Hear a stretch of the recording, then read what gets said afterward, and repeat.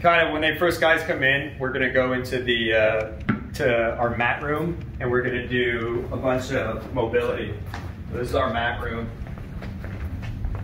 So we got a little softer surface. We're gonna work on whatever mobility is for the day, and our, and our mobility is all gonna dictate what we're working out. If we're doing a lower body lift and it's a squat, we wanna make sure our hips are good. We wanna make sure our ankle mobility is good. We wanna make sure that these guys are warmed up. So we're gonna work on all the mobility stuff here in the um, kind of a softer pad so they can roll around on it. Um, and then we'll move out. We'll come out here and we'll do a little bit of movement preparation where um, whatever, if we have a linear and a lateral day.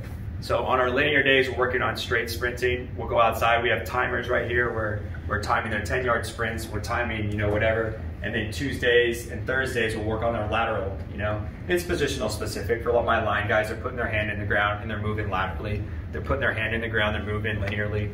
Um, so after stretching, mobilizing, whatever we're gonna do, we'll go outside and do that movement. We'll toss some med balls around outside, um, and then we'll come back in and lift. Mondays and Thursdays are lower body days, so we'll go maximal lifts on Mondays, and then we're gonna do like a dynamic day for lower body Thursday. So imagine lifting as heavy as you can Monday. Thursday, you're just moving the weight as fast as possible. Same thing with upper body, heavy as you want Tuesday, and then Friday, we're doing a bunch of dynamic. Wednesday's our conditioning day.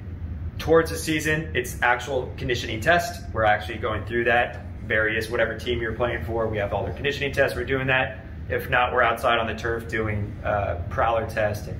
That's why, that's why guys definitely know us here is our conditioning's hard here. And I, I don't, I don't care if you're a big guy, like I'm not gonna take it light on you. And I think that's, that's definitely one of the things we have here is if you come here, you're gonna work hard and everybody knows that.